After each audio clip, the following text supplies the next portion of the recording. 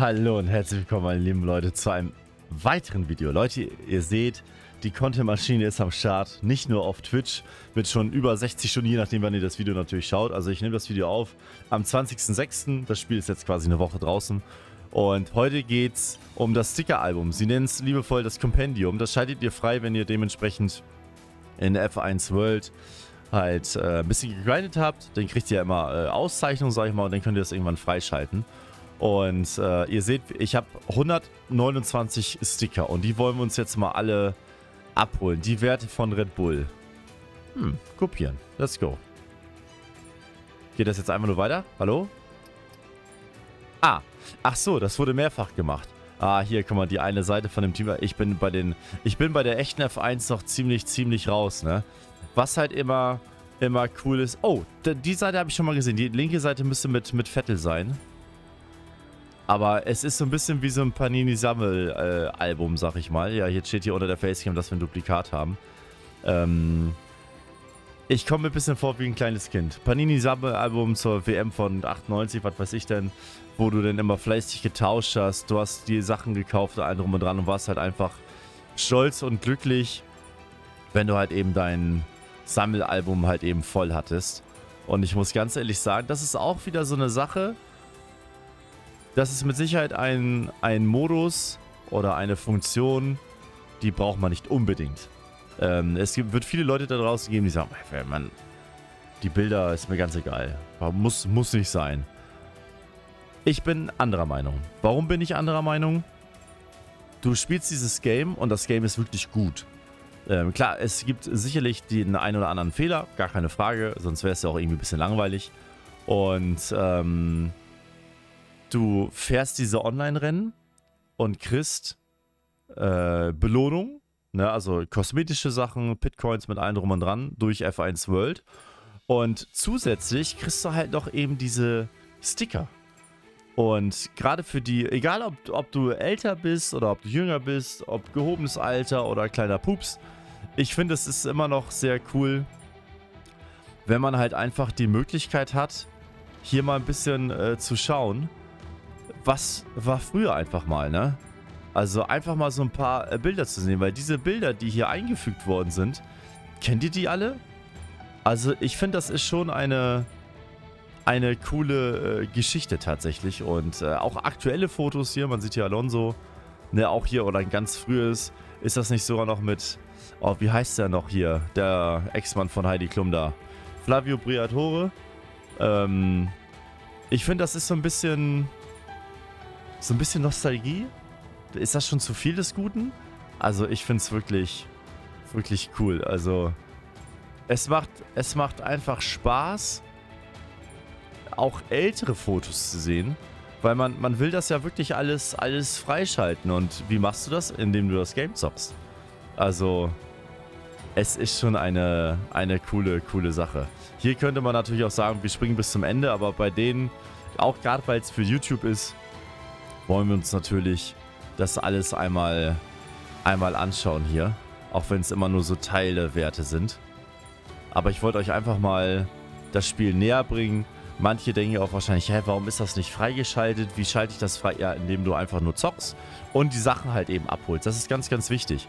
Die Sachen holt, also nur weil ihr im Spiel äh, oder nach einem Online-Rennen oder sowas eine Auszeichnung gekriegt habt und ihr habt gewisse Sachen freigeschaltet, müsst ihr sie immer nochmal abholen. Das ist ganz wichtig.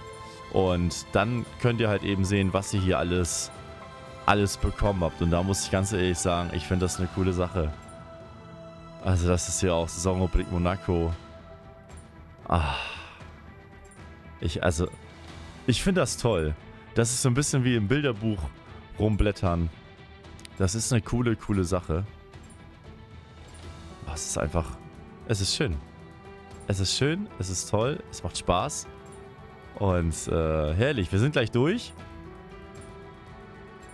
Eins noch, weiter. Du hast gerade einen Sticker geöffnet. Jetzt ja. musst du ihn nur noch einkleben. Siehst du, komm mal. Suche einen Eintrag, für den du einen neuen Sticker hast. Okay. Du kannst die Filtertaste unten benutzen, um das zu vereinfachen. Ah. Wähle dann den gewünschten Eintrag okay. aus und klebe ihn ein. Oh, ist auch netter. Einträge brauchst du mehr als einen Sticker. Ja. Das Abschließen von Einträgen ist eine großartige Möglichkeit, Belohnungen zu verdienen, Guck mal. die dir auf deinem Weg durch die F1 World helfen. Schau also immer wieder hier vorbei, wenn du neue Sticker verdienst. Siehst du? Also, wenn das nicht mal nice ist. So, wir können also schon mal gucken bei die Teams. Ich habe hier bei Red Bull anscheinend schon ein bisschen was freigeschaltet. Und tada! Siehst du, guck mal, jetzt kriegen wir hier auch nochmal was. Meine Güte. So, jetzt gehen wir zum nächsten. Sticker platzieren. Aha. Aber die linke Seite fehlt mir. Dieser Sticker kostet 10 entscheidende Erkenntnisse. Möchtest du wirklich fortfahren? Das können wir natürlich jetzt auch verwenden, aber guck mal, wir haben ja 456. Wir lassen das aber erstmal nochmal frei, weil wir sind ja noch am äh, Anfang. Also man kann sich das auch durch Erkenntnisse freikaufen, wenn man den Sticker selber noch nicht bekommen hat. Jetzt ist natürlich die Frage, gehörst du zu den Leuten, wenn die ein Panini-Sammelalbum zum Beispiel haben und es fehlen euch bestimmte Aufkleber, kauft ihr euch die oder wie, wie macht ihr das? Also ich muss ganz ehrlich sagen, wir werden mal schauen, dass wir erstmal noch weiter grinden und die Erkenntnisse noch, ähm, ja, wie soll ich sagen? Wir werden sie noch nicht sofort benutzen. Ne, weil es macht ja, glaube ich, jetzt keinen Sinn, alles freizuschalten. Wir sind ja erst am Anfang des Games. Und ich glaube, da können wir, da können wir noch durch weitere Rennen noch mehr halt eben machen. So, wir haben hier bei Alpine auch noch was. Ach, guck mal, ey, das ist ja... Man will auch wirklich wissen, was ist auf der anderen Seite. Oder vielleicht erkennt ihr das Foto ja sogar auch. Bei McLaren haben wir... Oh, guck mal, wie alt das Bild ist, ne? Das ist ja Wahnsinn. Alfa Romeo. Ach, schön, ne? Und auch natürlich fürs Protokoll aus der Schweiz. Also, die haben da auch immer noch mal äh, die Erklärung dazu, ne? Dass man halt eben weiß, was das Bild halt einfach beinhaltet. Wenn man jetzt selber sagt, ich weiß gar nicht, was das, was das ist. Guck mal, das haben wir schon abgeschlossen. Und dadurch kriegen wir halt eben wieder Streckendaten und sowas. Ich, ich, Leute, ich, ich weiß nicht, ob ihr das nachempfinden könnt, aber ich finde das wirklich toll. Setup-Daten und wieder 30 XP. Siehst du, geht schon wieder weiter. Es ist, äh... Oh. Leute, die haben das echt gut hingekriegt. Sicherlich, ich gebe euch recht. Es, wenn wir das jetzt nicht gehabt hätten, hätte es mir wahrscheinlich nicht gefehlt.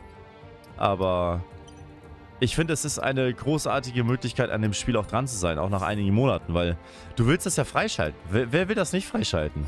Guck mal, jetzt haben wir noch die Fahrer. Ach, guck mal. Siehst du mal. Ah, schön.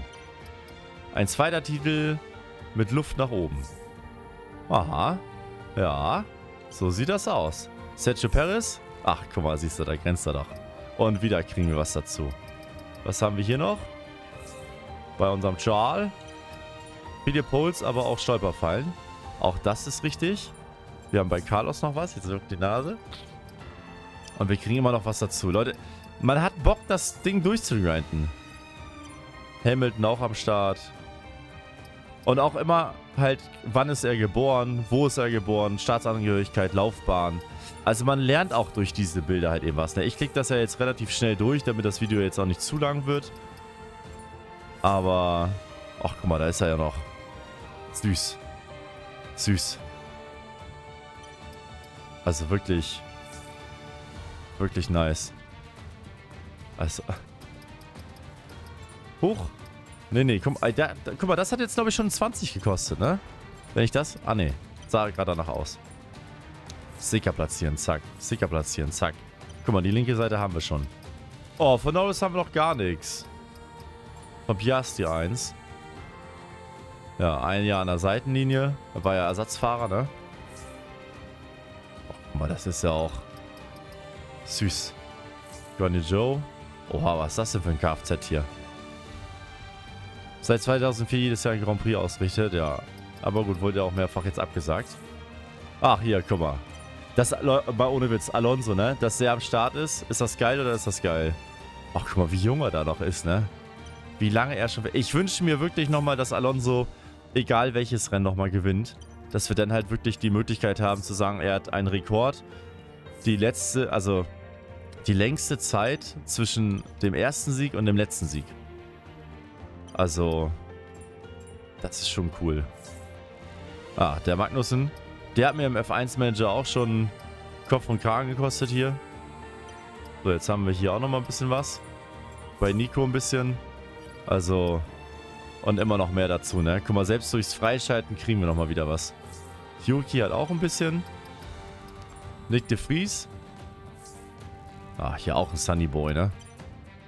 Und dann haben wir bei Alexander Albon auch nochmal was. Ach, guck dir das an.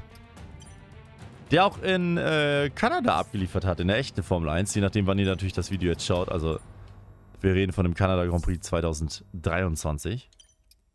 So, das haben wir. Jetzt gucken wir nochmal bei den Strecken. Da haben wir bei Bahrain 1. Oh ja, der, der Unfall, glaube ich, ne? Wo Grosjean da ja, wortwörtlich in der Hölle war. Och, auch schön. Guck mal, auch schönes Foto, ne? Wenn wir das jetzt, wenn wir das jetzt noch... Oh, nice. Wir können natürlich auch nochmal den Filter anmachen. Dann können wir gleich sehen, was uns, was uns fehlt. Das ist vielleicht noch ein bisschen einfacher. Ne, dass wir gar nicht rumklicken müssen.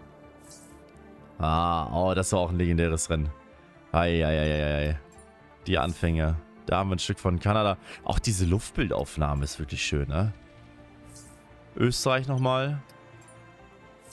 Also ich muss ganz ehrlich sagen, die Formel 1 ist schon geil. Das macht schon Bock. Schade nur, dass es manche Rennen gibt, die äh, langweilig sind, wo fast gar nichts passiert. Und bei manchen passiert so viel, dass du gar nicht... Also da musst du echt gucken, was du da, was du da machst. Also diese Dave Recap-Videos unbedingt auschecken. Er beschreibt das eigentlich immer relativ gut. Das ist schon immer ein Augenschmaus. Grüße an Dave an der Stelle, aber im Schatzi. Siehst mal, hier geht's weiter. Streckenbeschreibung weiter. Also man könnte sich das natürlich auch alles nochmal durchlesen. Das müssen wir nochmal in einer, in einer ruhigen Minute machen. Aber ich glaube, das wäre für ein YouTube-Video auf jeden Fall zu viel. So, jetzt haben wir hier alles. Jetzt machen wir auch, hier haben wir auch nochmal den Filter. Ey Leute, wie viele Bilder es gibt. Und guck mal, das können die auch jederzeit äh, erweitern, ne? Das ist ja das Geile. Also ich weiß nicht, habt ihr so dieses Bedürfnis, diese Sachen freizuschalten? Ich meine, klar, wir können uns natürlich auch das meiste jetzt einfach freikaufen, weil wir haben ja Erkenntnisse. Aber wenn du Duplikate hast, kannst du sie ja auch wieder verkaufen, kriegst dann Ressourcen wieder zurück. Und dann geht das los. Guck mal, da haben wir doch auch schon eins. Und wir kriegen wieder Bonus. Alter, das ist immer unglaublich. Das ist Wahnsinn. Gibt es denn unter euch jemanden, vielleicht könnt ihr das wieder in die Kommentare schreiben, gibt es von euch jemanden, der schon das ganze Album voll hat? Habt ihr das frei gekauft? Wollt ihr das frei kaufen? Oder wartet ihr, bis ihr komplett durch seid damit? Also, das ist wirklich, wirklich herrlich. Ich denke mal, wir werden nochmal ein zweites Video machen, wenn wir denn alles voll haben. Ich, für YouTube macht es mit Sicherheit Sinn, dass wir jetzt alles freikaufen, aber ich möchte euch auch irgendwie in diesen Genuss bringen, dass man halt irgendwie alles freischalten möchte, oder? Wie seht ihr das? So ein Ding ist das. Leute, so sieht's aus. Also, wir haben vieles, vieles schon fertig. Wir müssen vieles noch machen. Ich freue mich einfach wie blöd und ähm, ja, ich würde mich freuen, wenn wir uns auch im nächsten Video sehen. Oder auch im Twitch TV Livestream mit Invent Master. Und ähm, ja, let's go. Ich freue mich wahnsinnig.